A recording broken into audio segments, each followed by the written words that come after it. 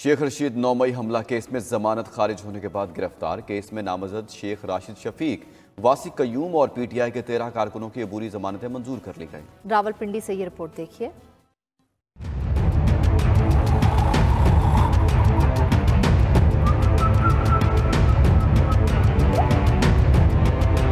नौ मई हमला केस में जमानत खारिज। जवामी मुस्लिम लीग के सरबराह शेख रशीद को अदालत से ही गिरफ़्तार कर लिया गया। शेख रशीद पर एहसास इदारे के दफ्तर में जलाओ गिराव का इल्ज़ाम है और उनके खिलाफ थाना न्यू टाउन रावलपिंडी में मुकदमा दर्ज है। रावलपिंडी की इंसदाद दहशत गर्दी की खसूसी अदालत के जज मलिक एजाज आसिफ ने जब फैसला सुनाया, उस वक्त शेख रशीद अदालत में मौजूद थे। अदालत ने दीगर बारह मुकदमा में शेख रशीद की जमानत कन्फर्म कर दी और उन्हें एक लाख रुपए के जमानती मचल के जमा कराने का हुक्म दिया। इनशाला आठ फरवरी को कलम दवात जीतेगी, मैं जेल जा रहा हूँ। और मुझे जेल जाने का हुक्म हुआ है। कोई इन ताला मेरा मौला चाहता।